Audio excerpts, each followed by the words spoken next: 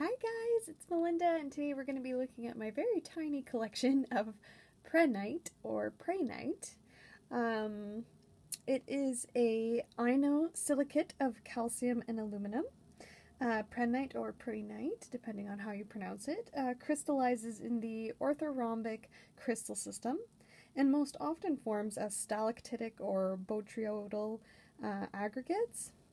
Very rarely, um, it will form distinct, well individualized crystals showing a square like cross section, um, including those that are found at uh, the Jeffrey Mine in Asbestos, Quebec, Canada. Um, so I think I'll start showing you. These is, you know, just like typical thing you'd find these in the metaphysical shops or, uh, you know, gem stores. Collectible little like tumblestone. Uh, these typically do have like these rutile inclusions in them, and that is uh, kind of a common feature of prehnite or prehnite.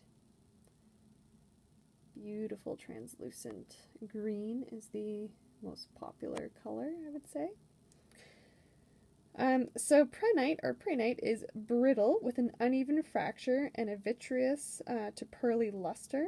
Its color varies from light green to yellow, uh, but also colorless blue, pink, or white can occur. I would say this type of green is probably um, the most recognizable of the colors of prehnite. Um, in April 2000, rare orange prehnite uh, was discovered in the Kalahari manganese fields in South Africa. Uh, so that's pretty freaking cool. Um, and prehnite is mostly translucent and rarely transparent. So you can certainly see my fingers through it, but it's not like as clear as glass, let's say. Beautiful. And here's my raw specimen, which I'm assuming is with quartz on what looks like basalt, but it was um, misidentified by the seller. And so I've mentioned this a couple times in other videos, but the seller um, had purchased a large museum collection that didn't come with labels, and uh, at that time, anyways, they weren't very knowledgeable about minerals themselves. Uh, so a lot of the things they sold me were uh, misidentified, and unless these little quartz uh, crystals are actually apophyllite. I don't believe they are, but if they were, then I suppose you could get away with calling this a zeolite. Um, but if it is prehnite or prehnite with quartz on basalt, it isn't a zeolite because prehnite is not a zeolite mineral.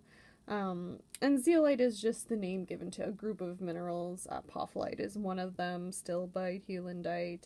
Um, there's a quite a variety. And I think the reason this one uh, gets mistaken as a zeolite quite often is because it is associated with uh, zeolite minerals uh, as well as other minerals. So, um, common ones would be datolite, calcite, apophyllite, stilbite, laumontite, uh, and heulandite.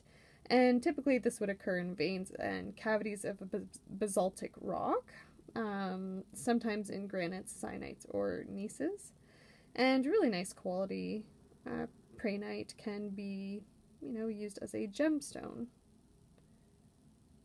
Very cool.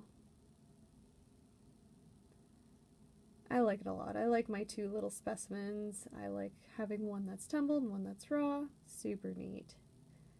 Really cool. See the texture of the prehnite or prehnite crystals? Isn't that neat?